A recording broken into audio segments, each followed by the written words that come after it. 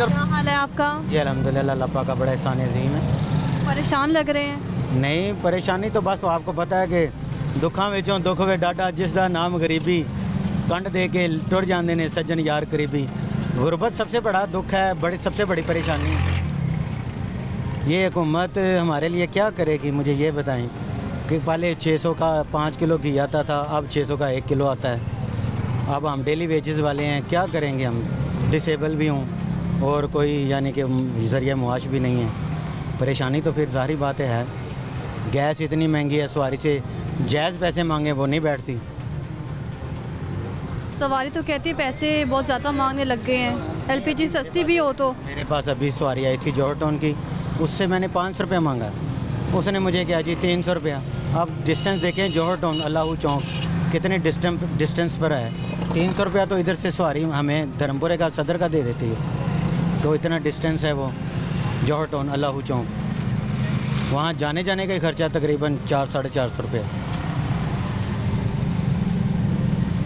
इतना टाइम हो गया आपको रिक्शा चलाते हुए? तकरीबन 25 साल हो गए रिक्शा चलाते हुए। इससे पहले रिक्शा से पहले मैं रेलवे में टेम्परेरी जॉब करता था।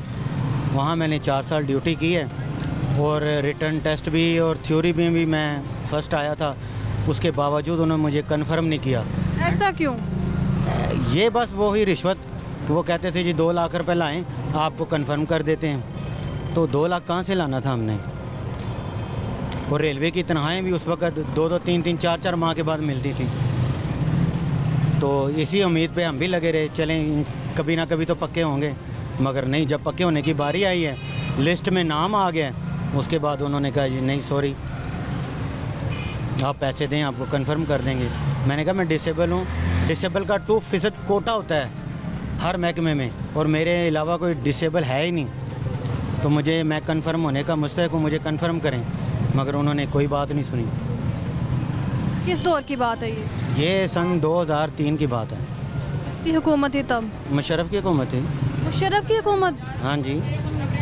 फिर देख लें उसका क्या हाल हुआ है। सबसे बेटा बात पता क्या है? जब हमारी सारी आवाम अपने अपने दीनी मामला ठीक नहीं करेगी तो हमारे हालात ऐसे ही रहने हैं। आपको लगता है सब मिलकर निकलेंगे महँगाई के लिए? ये इंशाल्लाह महँगाई के खिलाफ आवाज़ उठाएँगे? बिल्कुल उठाएँगे बिल्कुल उठाएँगे हम भी साथ हैं। आप अपना रिक्शा बंद करके एक दिन के लिए निकलेंगे महँगाई? जी इंशाल्लाह ज़रूर निकलेंगे। जी ज़रूर निकलेंगे। हम सबके साथ हैं। साथ देगा आपका कोई? जी इंशाल्लाह ये देखें भाई हमारे सब सब ड्राइवर हैं। ये सब साथ देंगे हमारा। कोशिश की है आपने कभी?